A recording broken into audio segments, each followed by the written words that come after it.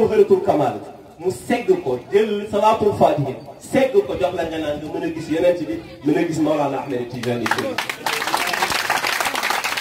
kon dafa nekk suñu wasila parce que rattaxal na suñu diggante rasulillahi sallallahu alayhi wa sallam rattaxal na suñu diggante Mawlana Ahmed Tidiane Chérif mu doon nag suñu yaakaar àdduna ak suñu yaakaar allah lu tax mu doon sunu yaakaar dañoo nekk Médine wallahi lazi la ilaha illa huwa tooguñu benn bis bu benn yeneen ci ñëwul fëgg kër kër kër damay ñëw ziar Seydi Mouhamed El ñu laaj ko ne ko sang bu tedd bi dañoo bëgg a xam ndax yeneen yëpp benn lañ mu ne ñu du ñu benn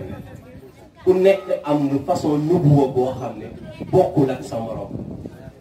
ñu ne ko yonent bi sallallahu alayhi wa sallam soo ñu doon misaal misaalal nubuwa lan mooy nubuwa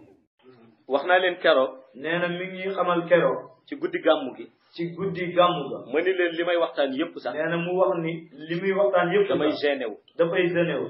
lu ko indi li koy indi mooy dama ñëw mooy dafa ñëw gis yonent bi sallallahu gis alayhi wa yonent sallam bi sallallahu alayhi wa sallam Mawlaay Cheikh Ahmad Tijaani Mawlaay Cheikh Ahmad ñu Tidiane seq pëjëm bi ñu ñoom séq pëjëm bi ñoom ñaar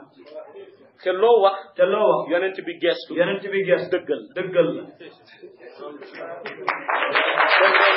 kon loolu da ngay dem ba da ngay am kerse da sax ngay dem sax ba yow da ngay am kersa